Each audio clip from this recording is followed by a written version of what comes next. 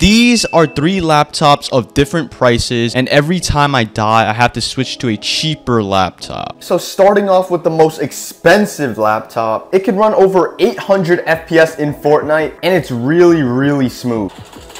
No way. Oh my. My aim is bad.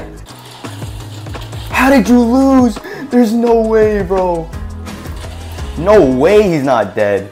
All right, the next laptop that we have is this laptop right here. It's a budget laptop coming in at around $500.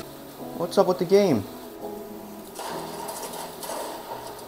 Yo, why are we kind of getting frame drops? What the heck? Yo. All right, finally, we're gonna be playing on the worst laptop, which is this school Chromebook right here. Oh my god.